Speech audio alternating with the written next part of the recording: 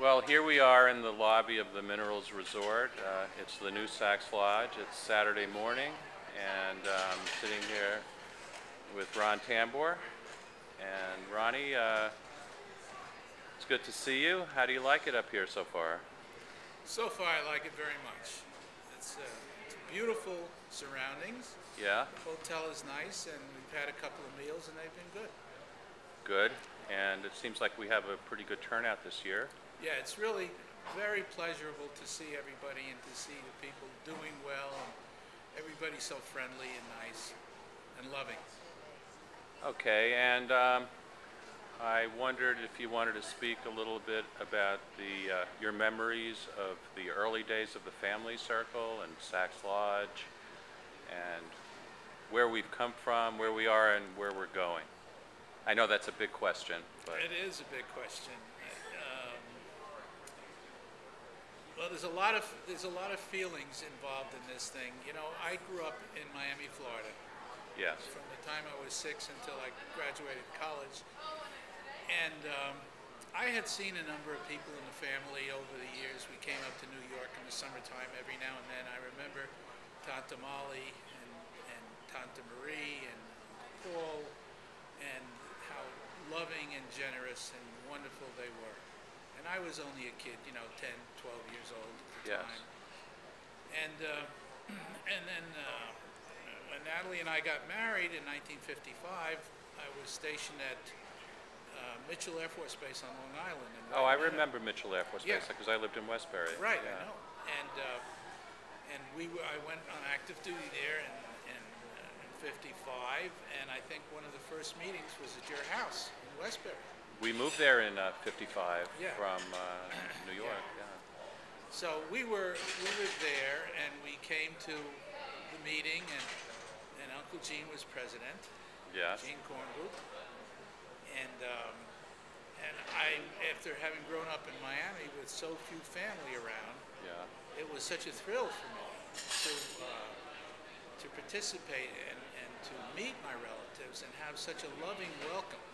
It was a very, it was a, it was a deeply emotional experience for me. you know. Uh-huh. And, uh, and I remember that. And, um, and whenever we could, we came to the, to the meetings, and we really enjoyed, uh, you know, so many people pop into my mind. You know, your father, and your, Yeah. of course, your mother, who's who's so lovely, and she's still here, and uh, Thank you. Joe and Laura, and and on and on, all the people.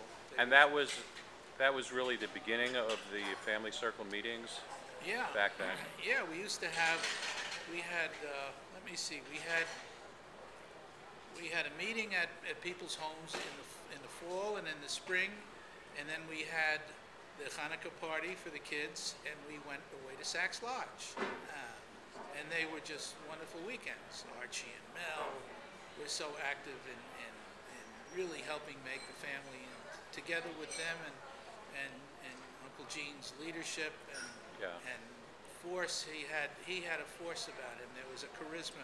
I remember when he entered into the room you felt this radiance you know? Yeah. you knew that gene Korngut was there. He had this wonderful mellifluous voice. Yes, and I there was remember. a power about him. He was he he uh, he was awesome to me.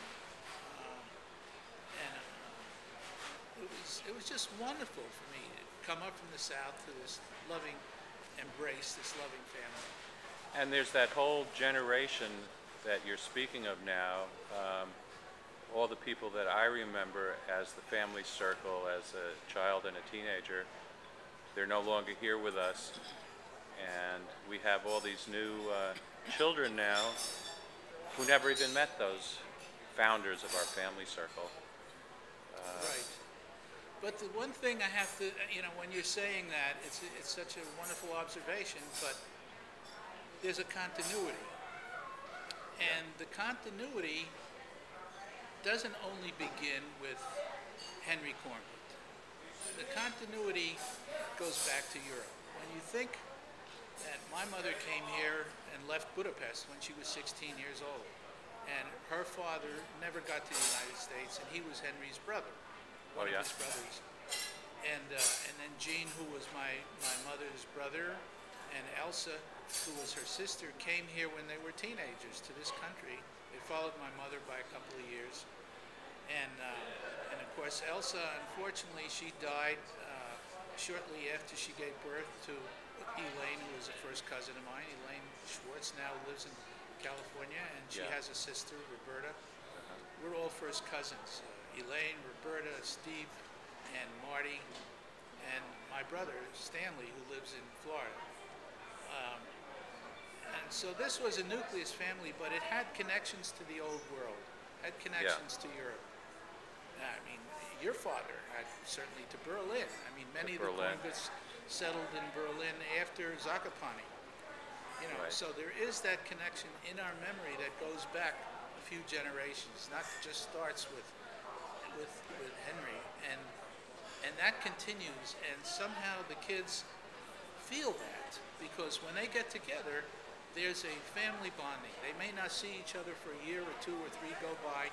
Yeah. They get together, and right away they're drawn to each other. Right away. Right yes, away, Yeah. they're drawn and they feel this this blood bond, and it's amazing. Second, third cousins, twice removed. I mean, Right. it's just amazing. Um, we don't really, there's not too many families that have that. That's right. Yeah. That's right. I think, you know what? If you think about the people in the family, there's no outstanding Nobel laureates. There's no, uh, we have some PhDs, we have some intelligent, you know, professional people, well trained, but there's no uh, uh, Bernstein, there's no Einstein, there's Yeah. no this kind of. They're just, we're all regular people who have gone to work every day and lived our lives, and we all have stories.